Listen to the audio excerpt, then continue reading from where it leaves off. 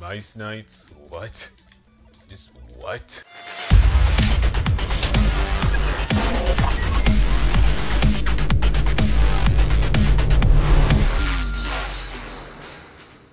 I am the terror that flaps in the night.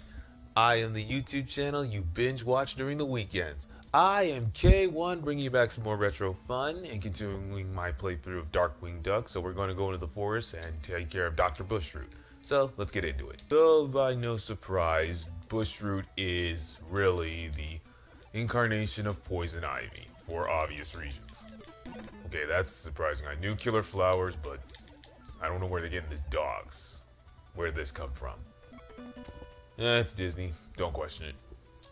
So, just like Pamela Isley, Bushroot was a was a was a scientist who mainly focused on flora, plants, and how to bring them to mainly to life. It was either to it was mainly either to life or sustain them through longer life.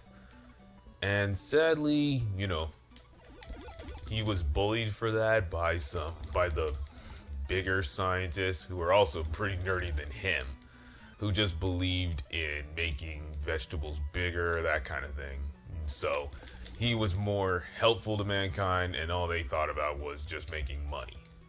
So of course when a time came to decide you know just like most scientists he was not making progress. So they said, if you don't make progress, then we're going to cut your funding. So to save his his scientific career, he literally used himself in one final experiment to prove that his you know his his experiment could actually work and we wouldn't have to and he wouldn't have to worry. Ah, oh, crap. So, like I was saying, so he tries his experiment on himself and it works, but of course, being cartoon logic, you know, oh, it backfires. And, you know, first it's just simple, oh, I'm green, I'm green. You know, I'm just, okay, maybe the green is just a quick little side effect. Oh no, and then later on he figures out, just like Poison Ivy, he has the power to control plants. And in a weird twist, like, you know, like with Darkwing's villains, you know, some want money,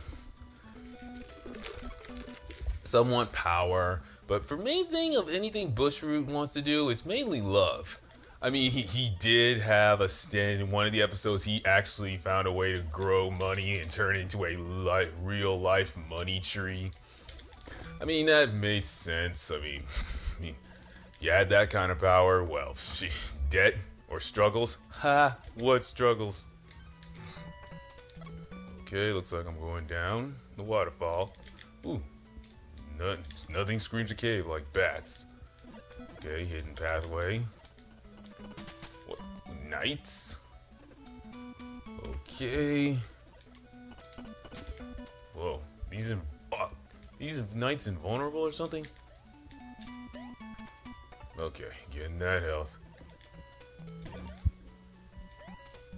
But the main thing of all of Bushroot's plans involve him making a bride. So he's more like he's not really fully evil. He's just lonely because you know he has nobody. But you know Bushroot's not really evil. He doesn't really. And then there was the Christmas episode where he just turned a bunch of Christmas trees against Saint Canard. But that was mainly to save the environment. So that was definitely more Poison Ivy ish because that's something that she would do.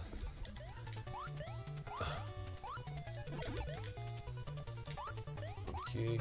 Oh, oh, oh damn, jump.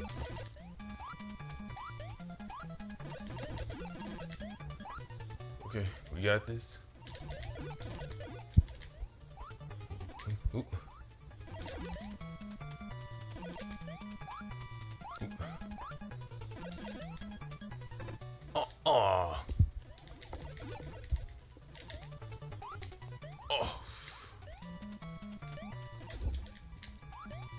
Oh, that was good.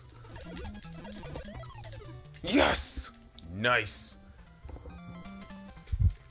Down to the ground, Bushroot. Down to the ground.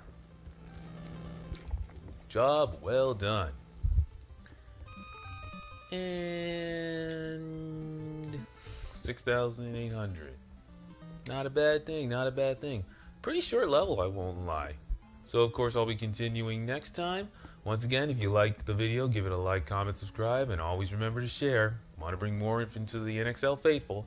Once again, this is your boy K1 bringing you back that retro fun. See you next time.